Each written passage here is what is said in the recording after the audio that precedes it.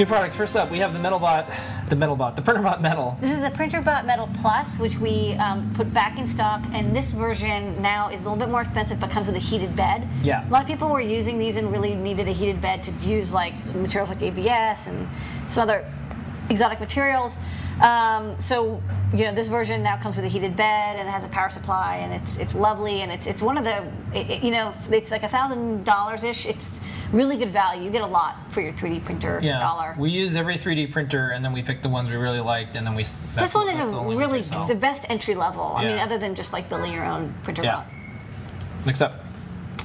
Saleae, uh, no, sorry. this is the no, Astro Pack. No, this is Astro Pack. Yeah, what this Yeah. does is allow you to uh, print over Wi-Fi with a Yeah. Raspberry Pi to a 3D printer. So if you the have, you, the thing is with these 3D printers is that they don't have a display or control panel. So this allows you to use a Raspberry Pi as like a remote 3D print controller. And it comes with the software. And this is just a pack that you basically plug it all together and it's pretty much ready to go. And then you can, as long as your 3D printer is controllable um, over USB with a Raspberry Pi, and like almost all of them are, like it's Yeah. kind of standardized, then you can just use this and then use your tablet or phone or computer. And, we you have a sticker.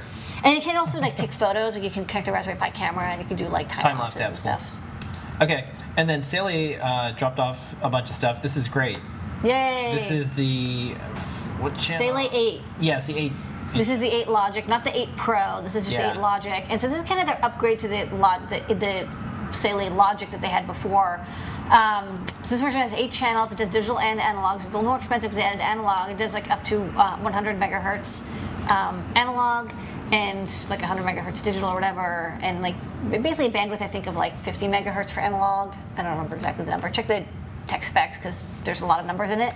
But um, basically, eight channels. It's just kind of like what I use on a day-to-day basis when I have to do logic analysis. And now it has analog, so you can even do like some mixed signal stuff. You can see how your power supply is doing when you're switching all your pins and all that good stuff. Um, so check it out. Uh, it's beautiful, and it's it, they've, they've they're coming out with such a big line. They have the four channel, eight channel, and 16. But eight, I like eight. Eight's right in the middle. Gives you plenty of channels. And some and it's screenshots small. from like the software and like. Yeah, and they have multi. They have software that runs on um, Mac, Windows, and Linux. Yeah. And it's scriptable, and you can export the data. And there's like like you don't have to pay for like add-ons, which is kind of Yeah. nice. Like it can do like logic um, analysis. Like it's like oh, if it's SPI, it'll actually tell you like what. Um, polarity and what the data is, and if it's like I squared C or, or serial, it'll, it'll decode like the baud rate and tell you what it is. So Yeah. it's, it's really nice. And as far as logic analyzer go, I think they're the best. This is really Yeah. the best. Okay, we showed the PiGRRL, and now we have a PiGRRL pack. Yes, So- if you would like yeah. to build the PiGRRL, which uh, is this uh, last week's 3D Thursday, um, the Pocket PiGRRL, you can get a pack which comes with everything but the 3D printed parts. So you need a 3D printer and you need some filament and you need some soldering irons and hand tools and stuff. But you get like a Model A Plus Raspberry Pi, and you get the display, and you get the buttons, and you get the cable, and you get like the PermaProto, and so you just need to have, have hand tools, and you can build uh, the two button or four button version of the PiGRRL.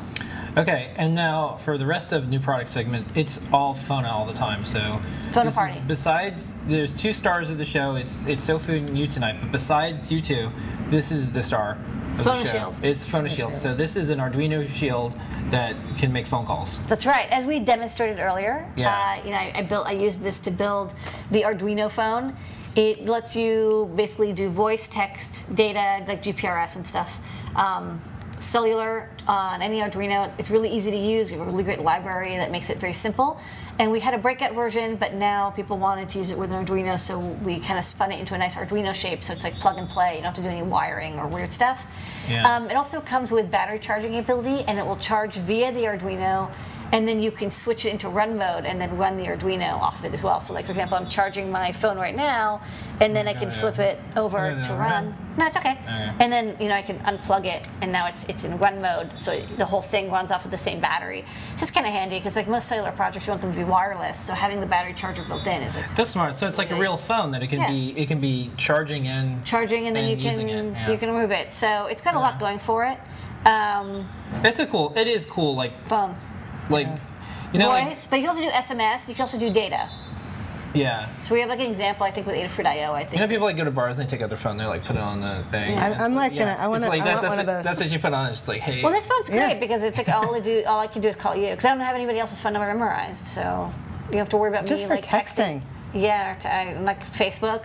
Yeah. Um, and you don't have to worry about it. Like, you, you don't. This is the only phone that's open source, and so you It's know fully open source, You too. know for a fact that you're no one's messing with your phone. It's not one of the types of phones that, that can be turned on to listen. Yeah. If No. you're, like, You know, depending on which what you're which yeah. note in PowerPoint you're reading, ain't so fun having a phone right now. No, this phone, Dep- there's like no, there's no risk. I mean, like you know, T-Mobile could like give your your phone records up. That you can't do much because you have to make the phone call.